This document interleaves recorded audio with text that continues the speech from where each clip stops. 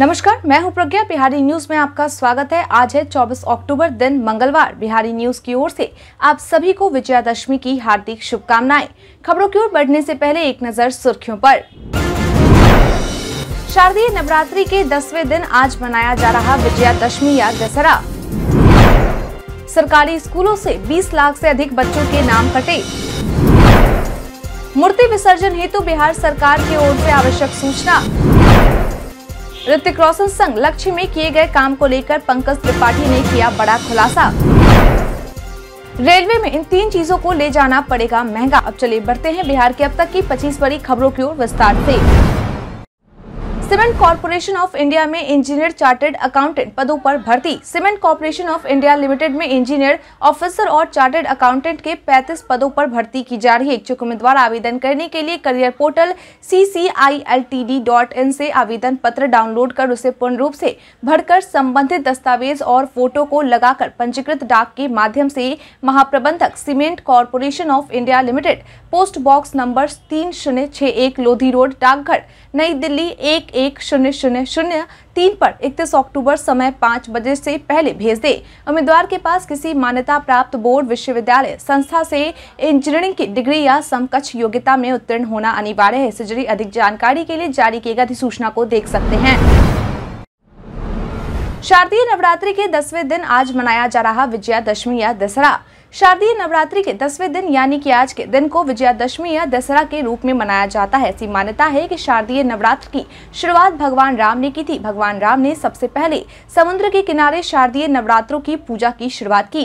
राम ने लगातार नौ दिनों तक शक्ति की पूजा की थी और तब जाकर उन्होंने लंका पर जीत हासिल की थी। यही वजह है की शारदीय नवरात्रों में नौ दिनों तक दुर्गा माँ की पूजा के बाद दसवें दिन दशहरा मनाया जाता है। मालूम हो कि आज के दिन कई स्थानों पर रावण दहन के कार्यक्रम का भी आयोजन किया जाता है और धन की अधन पर जीत, सत्य की असत्य पर जीत के रूप में भी आज के दिन को देखा जाता है। वहीं आज दशमी के साथ दुर्गा पूजा का अंत हो जाएगा।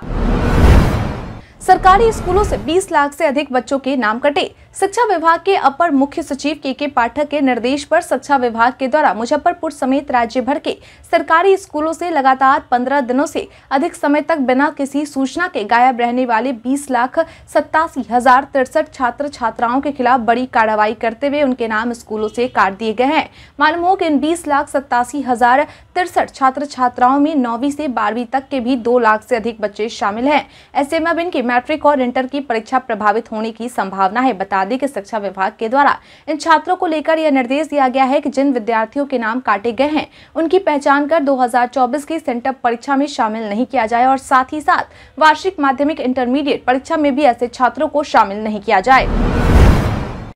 दुर्गा पूजा दशहरा को लेकर सीएम और राज्यपाल ने दी बधाई। बिहार के मुख्यमंत्री नीतीश कुमार और राज्यपाल राजेंद्र विश्वनाथ आलेकर के द्वारा दुर्गा पूजा दशहरा को लेकर बधाई दी गई है।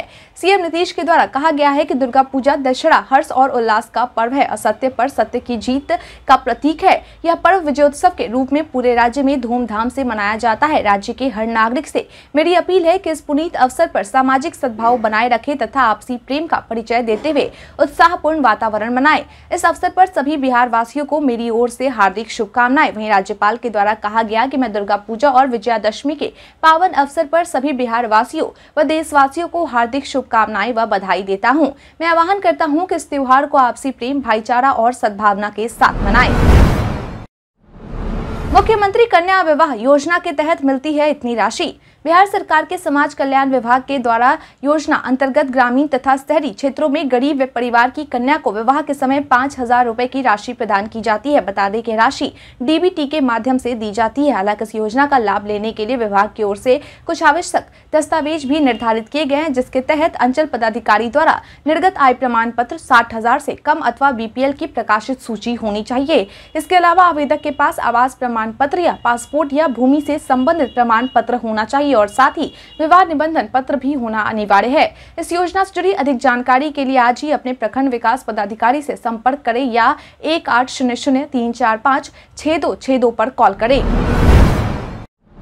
आधार में पता बदलने के लिए अपनाई यह प्रक्रिया। अगर आप अपने आधार कार्ड को अपडेट करवाना चाहते हैं या उसमें मौजूद पते को बदलवाना चाहते हैं तो यह खबर आपके लिए है। बता दें कि ये काम आप कुछ स्टेप्स को फॉलो करते हुए घर बैठे कर सकते हैं। इसके लिए आपको सबसे पहले UIDAI की आधिकारिक website H T P S colon slash slash U I D A I dot G O V dot in slash पर जाना होगा और फिर वहाँ माई आधार कार्ड के विकल्प का चुनाव करके लॉग इन करना होगा।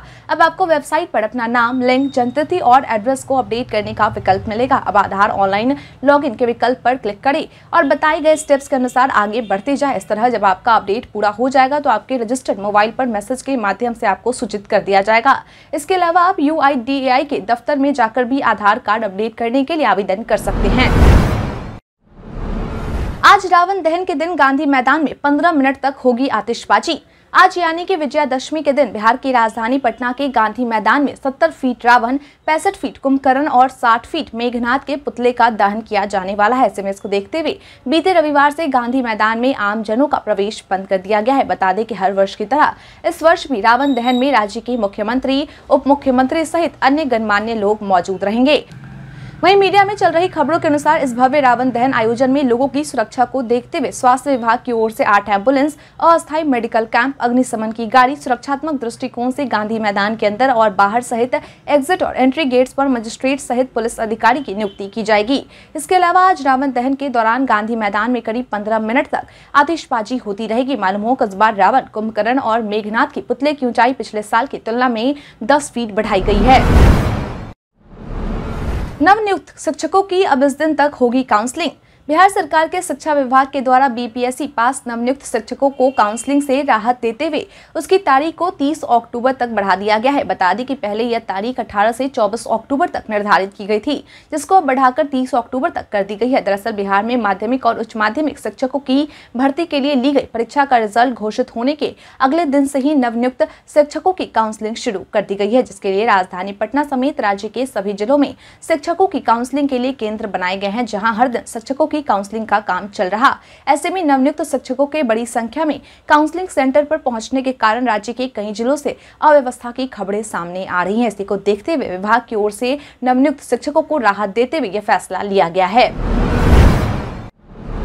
मूर्ति विसर्जन हेतु बिहार सरकार की ओर से आवश्यक सूचना। पर्यावरण, वन एवं जलवायु परिवर्तन विभाग के द्वारा मूर्ति विसर्जन हेतु आवश्यक सूचना जारी की गई है, जिसके तहत प्रत्येक पूजा समिति यह सुनिश्चित करेगा कि पूजन सामग्री जैसे फूल, कागज़ और प्लास्टिक से बनी अन्य सजावटी सामग्री को मूर्ति के विसर्जन से पहले हटा लिया गया हो। सुरक्षित और पर्यावरण के अनुकूल मूर्ति विसर्जन की व्यवस्था की गई हो और मूर्ति विसर्जन के संबंध में केंद्रीय प्रदूषण नियंत्रण बोर्ड दिल्ली द्वारा मूर्ति निर्माण एवं इसके विसर्जन हेतु बारह मई दो हज़ार बीस को जारी संशोधित मार्गदर्शिका को कढ़ाई से पालन किया गया हो। वही मूर्ति विसर्जन के दौरान स्थानीय निकाय और जिला प्रशासन के दायित्व के अंतर्गत मूर्ति का विसर्जन कृत्रिम तालाब में किया जाए। पूजा समिति के साथ कृत्रिम तालाब विसर्जन स्थल को टैग और चिन्हित करना है। विसर्जन स्थल पर जनित ठोस कचरा आदि के जलाने पर रोक लगाना, यह सुनिश्चित करना की मूर्तियों के विसर्जन के अड़तालीस घंटे के भीतर मूर्तियों का अवशेष हटा दिया जाए और ठोस कचरा संग्रह पर पहुँचाया जाए और पूजा समितियों या संगठनों के द्वारा इन नियमों के किसी भी उल्लंघन का प्रतिवेदन बिहार राज्य प्रदूषण नियंत्रण परिषद को देना है। ऋतिक रोशन संघ लक्ष्य में किए गए काम को लेकर पंकज त्रिपाठी ने किया बड़ा खुलासा। बिहार के लाल और बॉलीवुड अभिनेता पंकज त्रिपाठी को आज किसी की पहचान की ज़रूरत नहीं है, लेकिन कभी एक समय ऐसा था जब फ़िल्म से उनके सीन्स को डिलीट कर दिए गए थे। दरअसल इस बात का खुलासा खुद पंकज त्रिपाठी के द्वारा किया गया है। बता दें कि पंकज त्रिपाठी के द्वारा द ललन टॉप से बातचीत में अपने इस डिलीट सीन को लेकर बातें करते हुए कहा गया कि सिनेमा एक झूठ है। हम एक स्टोरी बनाते हैं और उसे स्क्रीन पर दिखाते हैं, लेकिन मैं असल ज़िंदगी में झूठ बोलने से बचता हूँ। अखबार में आ गया बिहार का लाल दिखेगा, पर बिहार का लाल तो पिक्चर में है ही नहीं। उन्होंने कहा कि उन्होंने ऋतिक रोशन स्टारर लक्ष्य में काम किया था, पर उनके सीन काट दिए गए। उस वक्त अखबारों में छप चुका था कि वह फ़िल्म का हिस्सा है, पर असल में वह फ़िल्म से हटा दिए गए। इसी तरह एक और फ़िल्म, फुकरे दो के पोस्टर में उन्हें जगह नहीं मिली थी।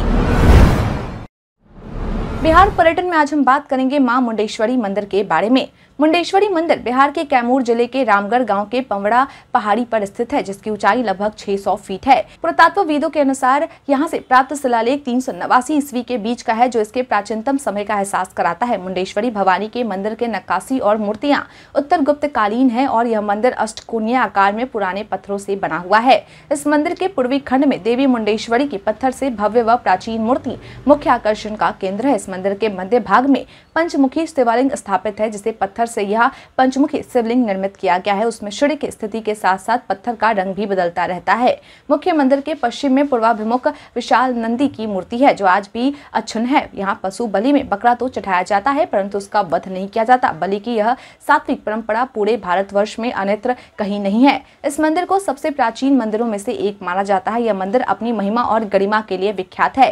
रामनवी और शिवरात्रि के त्योहार मुंडेश्वरी मंदिर में विशेष आकर्षण रखते हैं और प्रत्येक वर्ष बड़ी संख्या में तीर्थ यात्रियों द्वारा मंदिर का दौरा किया जाता है। यह मंदिर भारतीय पुरातत्व सर्वेक्षण के अधीन है। बिहार विद्यालय विशिष्ट शिक्षक नियमावली 2023 पर इस दिन लग सकती है मुहर। मीडिया में चल रही खबरों के अनुसार बिहार विद्यालय विशिष्ट शिक्षक नियमावली 2023 पर शिक्षकों के सुझाव मिलने के बाद जल्द बैठक कर दुर्गा पूजा के बाद यानी कि अक्टूबर अंत तक बैठक कर फाइनल प्रस्ताव तैयार कर उस पर मुहर लग सकती है। बता दें कि इस बैठक के दौरान विशिष्ट शिक्षक को लेकर आपत्ति भर भी चर्चा होगी, लेकिन नियोजित शिक्षकों को राज्य कर्मी का दर्जा विभागीय परीक्षा देने के बाद ही दिया जाएगा।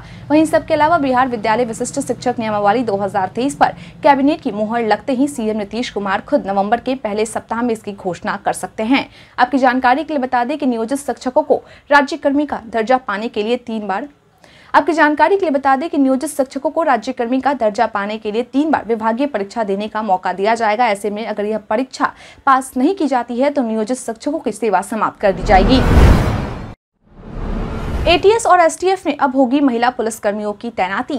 अब बिहार में महिला पुलिसकर्मियों को पारंपरिक रूप से पुरुषों का कार्य कहे जाने वाले विशिष्ट व्यक्तियों की सुरक्षा, आतंक निरोधी दस्ता यानी कि एटीएस और स्पेशल टास्क फोर्स यानी कि एसटीएफ में तैनात किया जाएगा। इसको लेकर महिला पुलिसकर्मियों को विशेष रूप से प्रशिक्षित करने का भी काम किया जा रहा। बता दें कि पुलिस मुख्यालय के अनुसार डायल एक सौ बारह, साइबर यूनिट और सोशल मीडिया में कार्य करने हेतु महिलाओं को प्राथमिकता दी गई है। मालूम हो की राज्य स्तरीय डायल एक सौ बारह के कॉल सेंटर में सौ महिलाएँ ही कार्यरत है। इसके अलावा थानों में 20 प्रतिशत अपर थानाध्यक्ष का कार्य महिलाओं को सौंपा गया है ताकि भविष्य में थानाध्यक्ष नेतृत्व के लिए तैयार हो सके। रेलवे में इन तीन चीज़ों को ले जाना पड़ेगा महँगा। ट्रेन में सफ़र करने के दौरान हम कई ज़रूरी चीज़ें लेकर अपने साथ जाते हैं, लेकिन तीन ऐसी चीज़ें हैं जिन्हें ट्रेन पर ले जाना महँगा पड़ सकता है। बता दें कि ट्रेन में पटाखे ले जाने के लिए सख्ती से मना किया जाता है। ऐसे में अगर आप अपने साथ पटाखे लेकर जाते हैं तो आपको जेल भी हो सकती है। इसके अलावा आप ट्रेन में स्टोव और सिलेंडर भी लेकर नहीं जा सकते। वही इसके साथ ही आप ट्रेन में तेजाब जैसी चीज़ें भी अपने साथ नहीं ले जा सकते। ऐसे में अगर आप बैन किए गए वस्तुओं को साथ ले जाते हैं तो आपको रेलवे एक्ट की धारा एक के तहत सजा दी जा सकती है। साथ ही आप पर एक हज़ार रूपए का जुर्माना या तीन साल की सजा भी हो सकती है। पुलिस ने भारी मात्रा में किया शराब जब्त बिहार में पूर्ण रूप से शराबबंदी है, लेकिन इसके बावजूद भी आए दिन हमें शराब तस्करी से जुड़े मामले सुनने को मिलते रहते हैं। हालाँकि इन पर नकेल कसने के लिए उत्पाद विभाग की ओर से जीतोड़ कोशिश की जा रही, लेकिन इसके बावजूद भी इन मामलों में कुछ खास कमी देखने को नहीं मिल रही।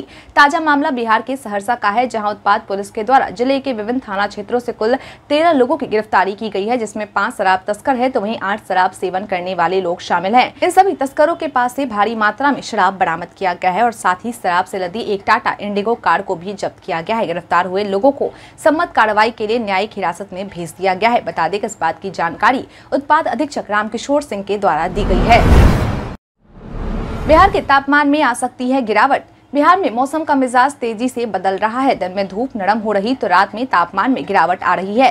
मौसम विभाग ने पटना सहित कई जिलों के तापमान में तीन डिग्री सेल्सियस नीचे जाने की संभावना जताई है। मौसम विभाग के द्वारा जारी किए गए पूर्वानुमान के अनुसार आज यानी कि 24 अक्टूबर को मौसम साफ़ और शुष्क बने रहने की संभावना है। बिहार के अधिकांश इलाकों में सुबह से धुंध छाए रहने का अनुमान है। हिमालय के तलहटी के क्षेत्रों में हल्के से मध्यम स्तर के कुहासा छाए रहने का पूर्वानुमान है। इसके अलावा पटना मौसम विज्ञान केंद्र ने कुछ जिलों में बारिश की संभावना जताई है। ये ज़िले हैं भागलपुर, बांका, जमुई, खगड़िया और मुंगेर। वहीं पच्चीस अक्टूबर को सुपौल, अररिया, किशनगंज मधेपुरा सहरसा, कटिहार, पूर्णिया, पटना, गया, जहानाबाद, नालंदा, नवादा, शेखपुरा, लखीसराय, बेगूसराय, बांका, मुंगेर, भागलपुर, जमुई और खगड़िया में एक या दो जगहों पर हल्की बारिश का पूर्वानुमान जारी किया है। बिहारी पहचान में आज हम बात करेंगे रतन कुमार सिन्हा के बारे में। रतन कुमार सिन्हा एक भारतीय परमाणु वैज्ञानिक और मैकेनिकल इंजीनियर हैं। उन्होंने अप्रैल 2012 से अक्टूबर 2015 तक भारत सरकार के सचिव, परमाणु ऊर्जा विभाग और परमाणु ऊर्जा आयोग के अध्यक्ष के रूप में कार्य किया था। उससे पहले रतन कुमार सिन्हा ने मई 2010 से जून 2012 तक भावा परमाणु अनुसंधान केंद्र मुंबई के निदेशक के रूप में कार्य किया था। अपने करियर के चार दशकों के दौरान रतन कुमार सिन्हा ने परमाणु रिएक्टरों के डिज़ाइन और विकास से संबंधित कई महत्वपूर्ण पदों पर कार्य किया। भारतीय परमाणु कार्यक्रम के लिए वह उन्नत भारी जल रिएक्टर और कॉम्पैक्ट उच्च तापमान रिएक्टर के विकास में सक्रिय रूप से शामिल रहे हैं। दो अत्यधिक स्वीकृत तकनीकी नवाचार जो विशेष रूप से भारत में परमाणु ऊर्जा की बड़ी पैमाने पर तैनाती के लिए उपयुक्त है। रतन कुमार सिन्हा के नाम कई पुरस्कार और सम्मान है, जिनमें पहला प्रतिष्ठित होमी भाभा विज्ञान और प्रौद्योगिकी पुरस्कार, वास्तविक पुरस्कार, इंडियन न्यूक्लियर सोसाइटी पुरस्कार, डीएई विशेष योगदान पुरस्कार I N A I professor S N Mitra memorial award, उन्हें मैसूर विश्वविद्यालय द्वारा डॉक्टरेट ऑफ़ साइंसेज की मानद उपाधि से सम्मानित किया गया है।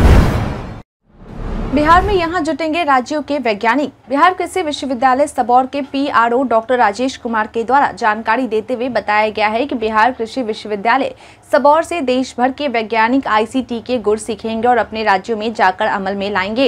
उन्होंने बताया कि आईसीएआर पोषित काफ्ट यानी करियर एडवांसमेंट फैकल्टी ट्रेनिंग कार्यक्रम के अंतर्गत आईसीएआर से संबद्ध संस्थाएँ जैसे केंद्रीय कृषि विश्वविद्यालय, राजकीय कृषि विश्वविद्यालय, कृषि विज्ञान केंद्र और भारतीय कृषि अनुसंधान परिषद के अन्य इकाइयों से वैज्ञानिक किसी खास विषयों पर बेहतर कार्य करने वाली संस्थाओं में प्रशिक्षण के लिए आते हैं। प्रसार शिक्षा निदेशक डॉक्टर आर के सुहानी ने कहा कि देश के अन्य राज्यों के वैज्ञानिक बिहार कृषि विश्वविद्यालय के आईसीटी के मॉडल जैसे सामुदायिक radio station, digital storytelling और कृषि प्रसार के लिए सोशल मीडिया के हो रहे प्रयोग पर प्रशिक्षण लेंगे।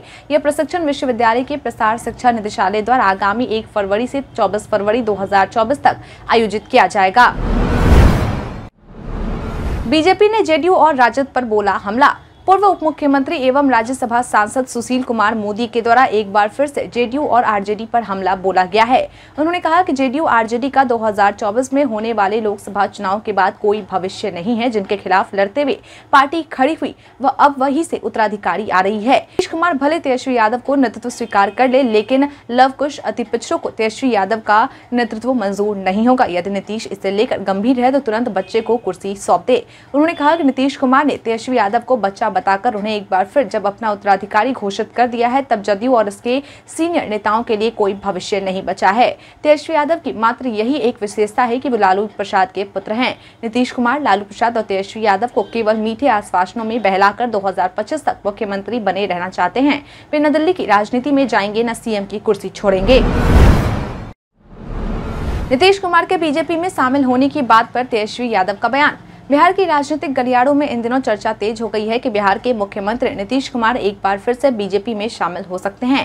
वहीं अब इस पर बिहार के उप मुख्यमंत्री तेजस्वी यादव के द्वारा अपनी प्रतिक्रिया दी गई है।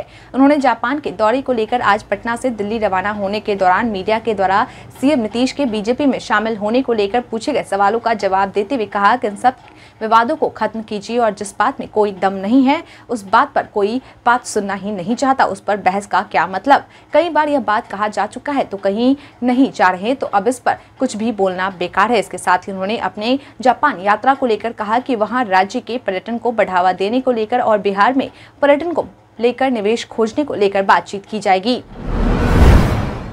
सुभमन गिल दुनिया के सबसे तेज 2000 रन बनाने वाले बने बल्लेबाज। बीते 22 अक्टूबर को धर्मशाला में भारत और न्यूजीलैंड के बीच खेले गए मैच में भारतीय टीम के युवा खिलाड़ी शुभमन गिल के द्वारा अपने नाम एक रिकॉर्ड दर्ज कर लिया गया है। दरअसल शुभमन गिल वनडे पुरुष क्रिकेट में सभी दिग्गजों को पीछे छोड़ते हुए सबसे तेज 2000 रन बनाने वाले बल्लेबाज बन गए हैं। आपकी जानकारी के लिए बता दें कि शुभमन गिल अपने नाम ये रिकॉर्ड साउथ अफ्रीका के दाएँ हाथ के बल्लेबाज हासिम अमला को पीछे छोड़ते हुए किया है। मालूम हो कि हासिम अमला ने अपने 2000 रन 40 पारी में पूरे किए थे। मालूम हो कि शुभमन गिल न केवल दुनिया बल्कि भारत के भी वनडे फॉर्मेट में सबसे तेज़ी से 2000 रन बनाने वाले खिलाड़ी हो गए हैं। इससे पहले शिखर धवन के द्वारा 48 पारियों में अपने 2000 रन पूरे किए गए थे। आपकी जानकारी के लिए बता दी कि भारत ने न्यूजीलैंड को हराकर पॉइंट्स टेबल पर अपना पहला स्थान बना लिया है।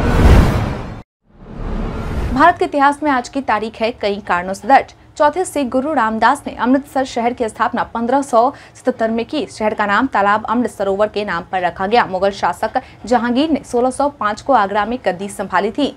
जेसुइट पादरी एस जे थॉमस भारत आने वाले पहले अंग्रेज़ थे। वह पुर्तगाली नौका से पंद्रह को गोवा पहुँचे। कलकत्ता और डायमंड हार्बर के बीच पहली टेलीग्राफ लाइन अठारह में शुरू हुई। कोलकाता में एस्प्लेनेड और भवानीपुर के बीच पहली मेट्रो ट्रेन उन्नीस सौ चौरासी में शुरू हुई। सुधा माधवन मैराथन में उन्नीस सौ बयासी को दौड़ने वाली पहली महिला एथलीट बनी। जम्मू कश्मीर के एक नेता प्रेमनाथ डोगरा का जन्म अठारह सौ चौरासी में हुआ। भारत के प्रसिद्ध राजनीतिज्ञों में से एक समाजवादी नेता, सांसद तथा विचारक अशोक मेहता का जन्म उन्नीस सौ ग्यारह में हुआ।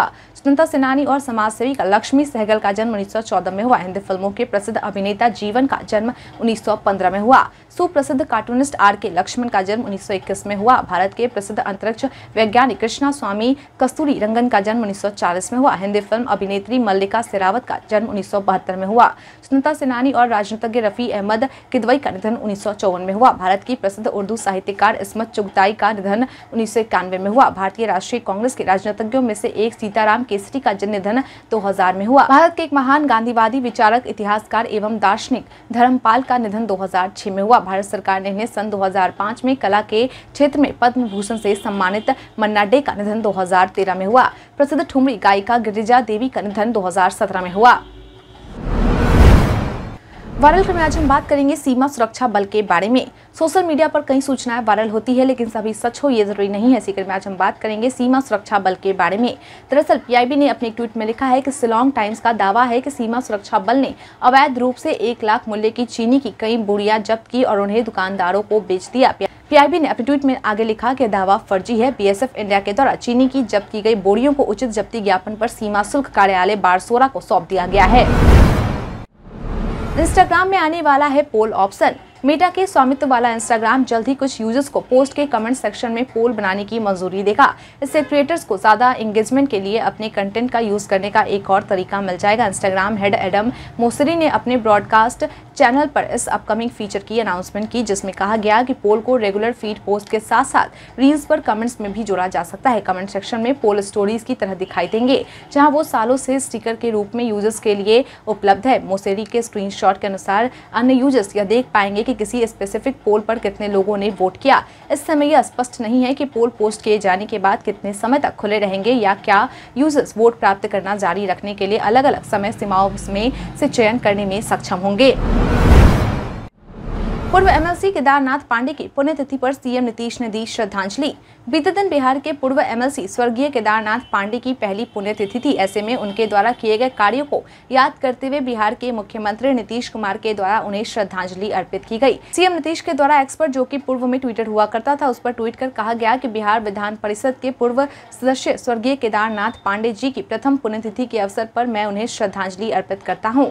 वे महान शिक्षाविद कुशल राजनेता एवं समाज सेवी थे। उन्होंने बिहार में शिक्षकों के हित में काफ़ी काम किया था। प्रदेश में शिक्षा के क्षेत्र में उत्थान के लिए वे निरंतर प्रयासरत रहते थे। उनसे मेरा व्यक्तिगत संबंध था। उनकी पुण्यतिथि पर उन्हें सादर नमन। हम प्रतिदिन आपसे पाँच ऐसे ज़रूरी सवाल और उससे जुड़े जवाब बताएँगे, जो कि बीपीएससी, बिहार पुलिस, दरोगा समेत एसएससी जैसे अन्य प्रतियोगी परीक्षाओं में काम आएँगे। सवाल इतिहास, बिहार स्पेशल विज्ञान, करंट अफेयर्स और भूगोल से रहेंगे। पूछे गए पाँच सवाल में आपने कितना सही उत्तर दिया, कृपा करके यह हमें कॉमेंट करके ज़रूर बताएँ। हमारा पहला सवाल है गिद्धेश्वर पर्वत, जहाँ पर हाल में प्राचीन शैल चित्र पाए गए, वह बिहार के किस ज़िले में है? Option A, Jamui, option B, Aurangabad, option C, Jehanabad, option D, Nalanda.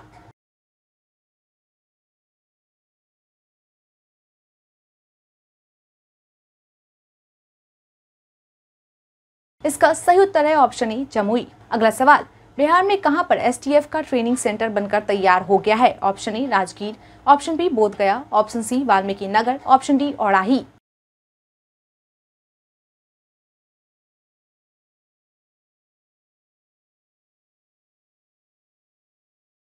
इसका सही उत्तर है ऑप्शन बी बोध गया अगला सवाल, हाल ही में कहाँ पर 418 फीट ऊँचा तिरंगा झंडा फहराया गया है? Option A Attari Wagah border option B Radcliffe line option C, McMahon line. Option D, इनमें से कोई नहीं।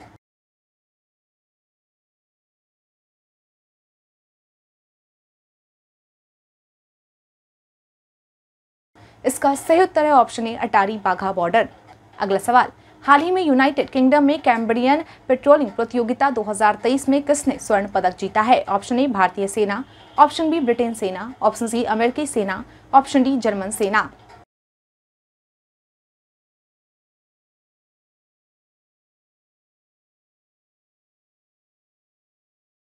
इसका सही उत्तर है ऑप्शन ए, भारतीय सेना। अगला सवाल, बिहार की राजकीय पक्षी का नाम क्या है? ऑप्शन ए, तोता, ऑप्शन बी, मोर, ऑप्शन सी गौड़ैया ऑप्शन डी, मुर्गा।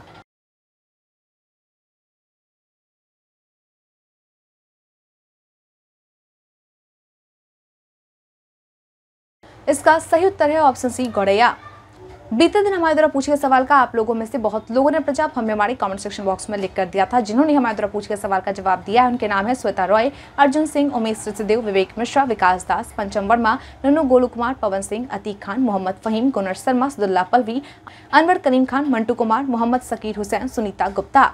इसके साथ ही बढ़ते हैं आज के सवाल की और आज का सवाल है आपका दुर्गा पूजा कैसा बीता? अपना जवाब हमें हमारे कमेंट सेक्शन में लिखकर ज़रूर बताएँ। आज के लिए इतना ही। बिहार के तमाम खबरों के साथ बने रहने के लिए देखते रहें बिहारी न्यूज़ और साथ ही अगर आप यूट्यूब से देख रहे हैं